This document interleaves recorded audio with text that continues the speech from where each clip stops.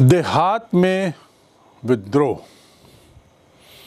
देहात में विद्रोह और वो भी बम्बई दक्कन आदि जैसी जगहों में, यह भी हमारे इस अध्याय का एक हिस्सा है। और ये बड़ा रोचक है कि देहातों में विद्रोह हुए, वो भी ऐसे बम्बई दक्कन जैसे इलाकों के आसपास के देहातों में, यहाँ जहाँ अंग्रेज़ों की औपनिवासिक व्यवस्था का आकलन करने इन जगहों पर हमें किसान विद्रोह को उस पर नज़र देखनी होगी कि आखिर ये विद्रोह हुए क्यों? आखिर एक किसान विद्रोह, वो भी इन जगहों पर क्यों हुए? तो हमें समझना होगा कि जो अंग्रेज़ों ने जो अपनी अर्थव्यवस्था को, जिसे हम शुरू से ही औपनिवेशिक अर्थव्यवस्था कहते आ रहे हैं औपनिवेशिक अर्थव्यवस्था। इस अर्थव्यवस्था को बदलने की प्रक्रिया में किसान वर्ग को क्या नुकसान हुआ? आखिर विद्रोह हुए क्यों? तो थोड़ा सा इस पर दृष्टिपात करें तो कुछ हमें निर्णय, निष्कर्ष मिलेंगे। और इन निष्कर्षों का आधार विद्रोहों से जुड़े हुए ऐसे बहुत से अभिलेख हैं। विद्रोहों से जुड़े हुए ऐसे बहुत सारे अभिलेखी साक्ष्य मिले हैं, जिसके आधार पे हम कुछ निष्कर्ष निकाल सकते हैं। किसानों के द्वारा किए गए द्रोह ये ये ज्ञान जो है, ये न सिर्फ़ विद्रोह दबाने का प्रयास करते थे, बल्कि आयोग नियुक्त, आखिर आयोग नियुक्त क्यों किए जाते थे? विद्रोह हुआ उसके बाद उसको कुचला गया। कुचलने के बाद उसका विवेचन हुआ और साथ ही एक जाँच आयोग भी बैठा। और जाँच आयोग का उद्देश्य होता था इन विद्रोहों के कारण, प्रकारण बैकग्राउंड आदि का पता लगाना। तो एक और तो जहाँ विद्रोह के कारणों आदि को जानने का प्रयास होता था इन आयोगों के द्वारा दूसरी ओर अंग्रेज़ या ईस्ट इंडिया कंपनी इन आयोगों के सुझाव भी स्वीकार करती थी। यानी आयोग अपने तरीके से कुछ सुझाव भी देते थे, उसके अलावा कुछ सुधार भी बताते थे और इन सुझाव और सुधार के आधार पर कुछ परिवर्तन भी होते थे। तो इस प्रकार विद्रोहों से कुछ ज्ञान भी इनको मिलता था। कुछ समझाइश भी होती थी, कुछ सुधार भी होता था। उन्नीसवीं सदी में कृषकों ने साहूकारों के खिलाफ और खाद्यान्न व्यापारियों के खिलाफ कई बार विद्रोह किया, कई बार विरोध किया। और इस विद्रोह और विरोध के अनेक कारण थे अलग अलग जगहों में अलग अलग कारण थे। लेकिन मूल रूप से जो विद्रोह थे, वो खाद्यान्न व्यापारियों के खिलाफ थे मूल रूप से जो विद्रोह थे, वे एक तरीके से अंग्रेज़ी अधिकारियों राजस्व अधिकारियों के खिलाफ थे और साथ ही साहूकारों के, महाजनों के खिलाफ थे, जिनसे इन किसानों ने समय समय पर ऋण लिया था। इनके अनेक कारणों की ओर आगे बढ़ना ज़रूरी होगा। ये तो तय है कि विद्रोह होना स्वाभाविक था, क्योंकि जिस तरीके की भू व्यवस्था लागू की गई थी और जिस तरीके से देहाती अर्थव्यवस्था को तोड़कर, देहाती अर्थव्यवस्था को तोड़ मरोड़ कर औपनिवेशिक अर्थव्यवस्था से जोड़ा जा रहा था, उससे किसान नाराज़ तो थे। तो नाराज़गी स्वाभाविक थी। चलिए हम थोड़ा सा इन नाराज़गी के कुछ सामान्य कारणों की ओर भी थोड़ा नज़र डालें। पहला तो था भू राजस्व का बंदोबस्त। आखिर ये क्या है? सत्रह सौ तिरानबे में स्थायी बंदोबस्त हुआ ये हमने पढ़ा है।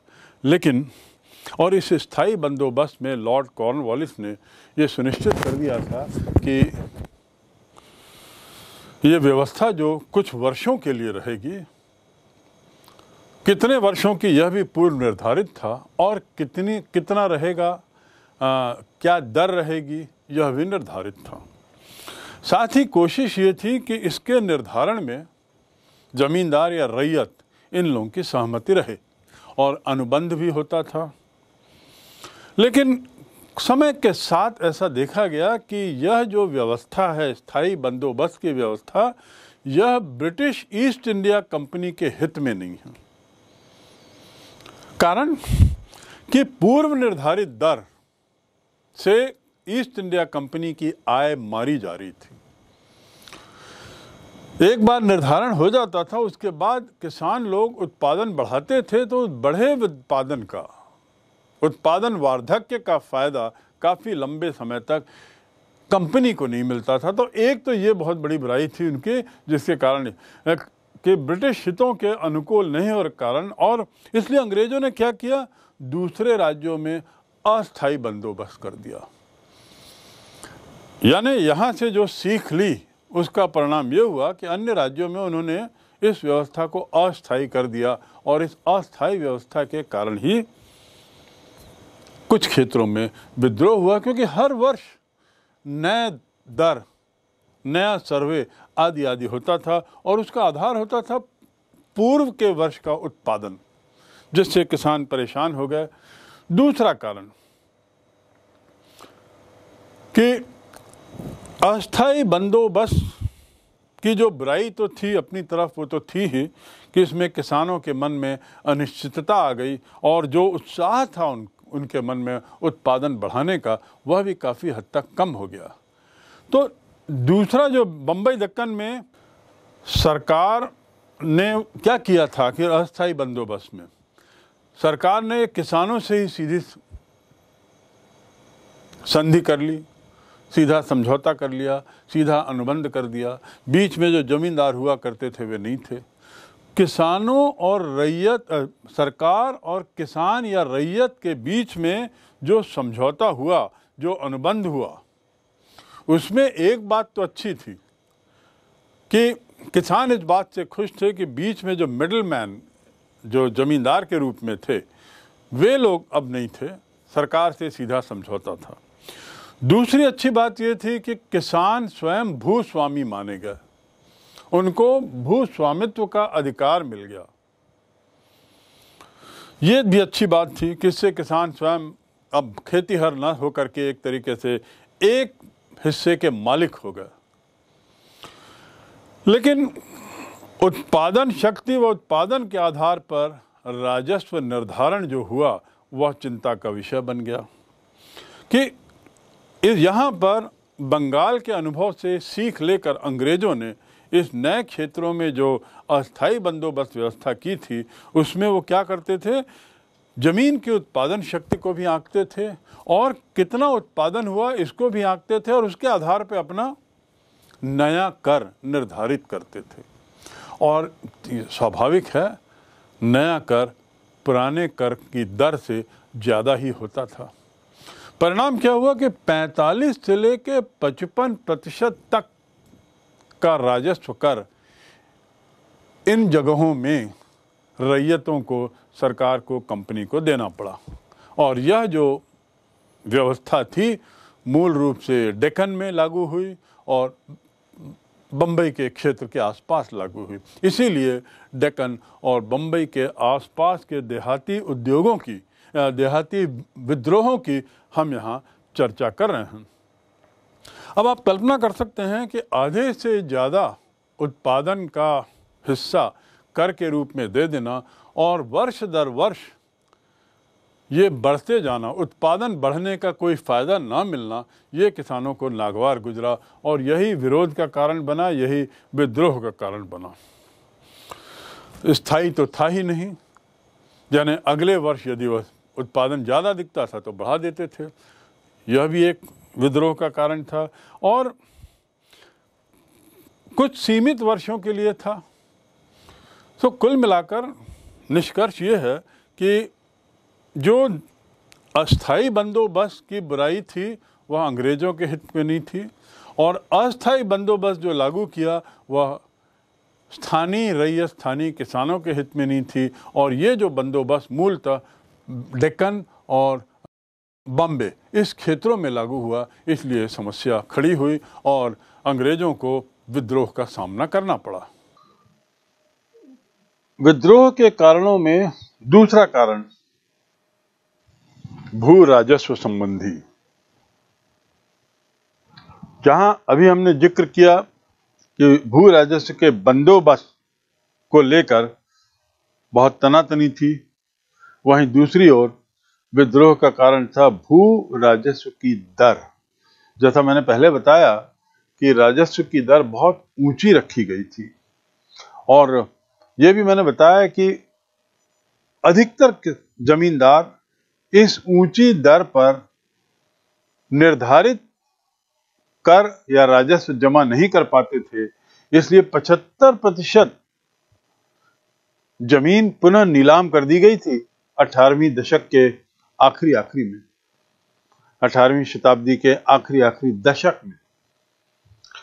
तो 1820 के दशक में तो बंबई और दक्कन में पहला भू राजस्व बंदोबस्त किया गया।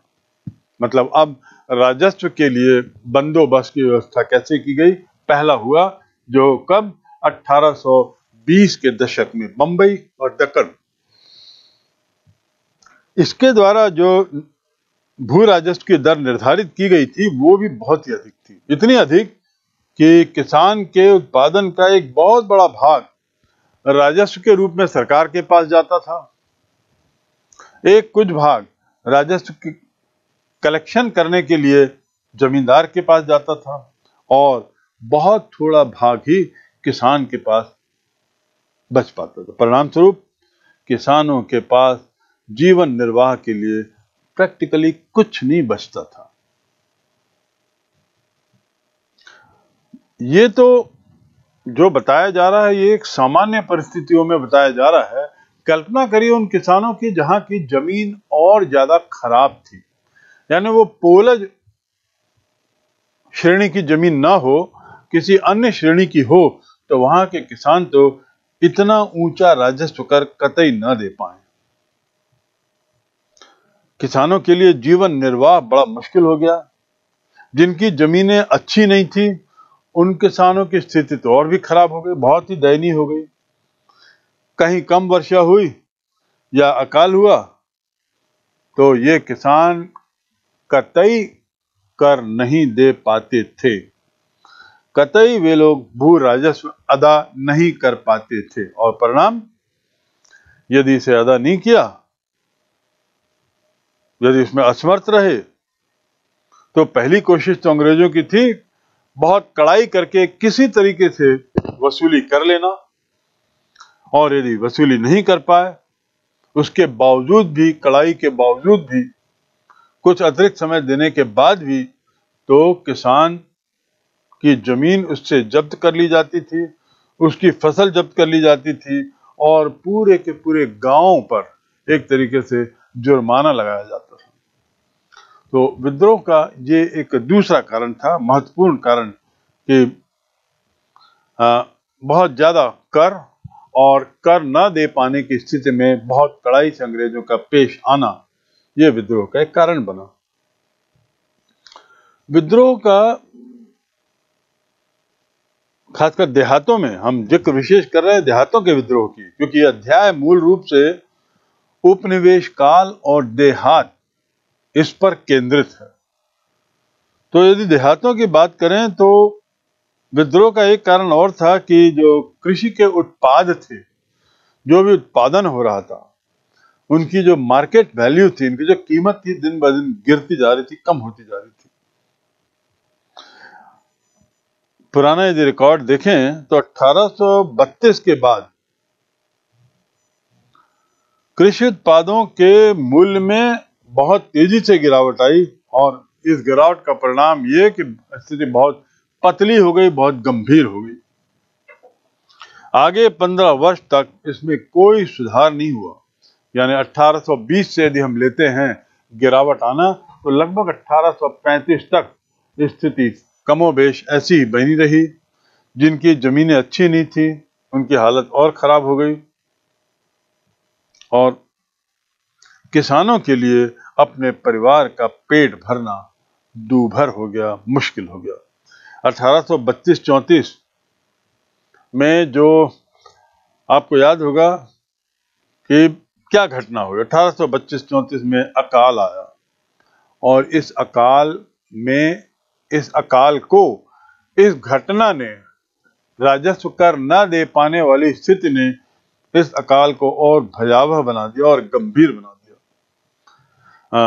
डक्कन में तो 50 प्रतिशत आबादी मौत के गले गई, मौत की शिकार हो गई और चारे की कमी के कारण लगभग एक तिहाई पशु मारे गए।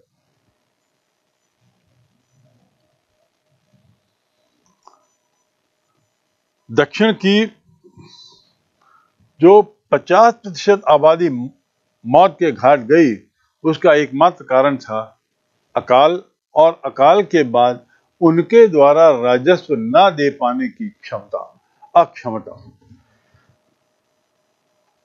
जैसा मैंने बताया, ऐसी स्थिति में पूरे के पूरे गाँव पे जुर्माना भी लगा देते थे।